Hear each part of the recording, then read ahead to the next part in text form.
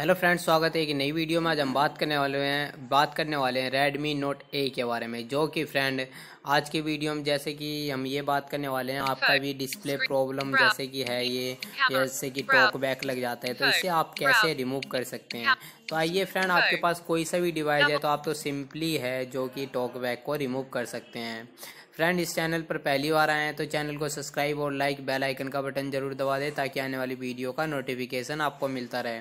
तो फ्रेंड आपको करना क्या है? सिंपली जो है दो उंगली से ऊपर की ओर सेटिंग के लिए ओपन कर लेना है। दो उंगली से ऊपर नीचे करे जैसे भी आपका सॉफ्टवेयर आता है। तो दो उंगली से ऊपर नीचे कर सकते हैं। जैसे कि टॉक बैक लग जाता है तो ये वर्क नहीं करता है सही से। तो आपको दो उंगली से करना है जैसे कि आप देख सकते हैं यहाँ पे कुछ ना कुछ ऐसे ही उल्टा सीधा दब जाता है। तो मैं यहाँ सेटिंग्स को ओपन कर लेता हूँ। यहाँ पे आ चुका है डबल क्लिक करना है। डबल क्लिक करते ही फ्रेंड आपको करना क्या है? ऊपर से ऐसे ऊपर नीचे करना है।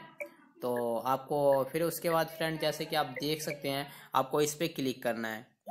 इस पर क्लिक करना है इस पर क्लिक करते ही आपको जैसे कि ऊपर की ओर सेटिंग जो कि ऊपर की ओर दो उंगली से ऊपर नीचे करना है।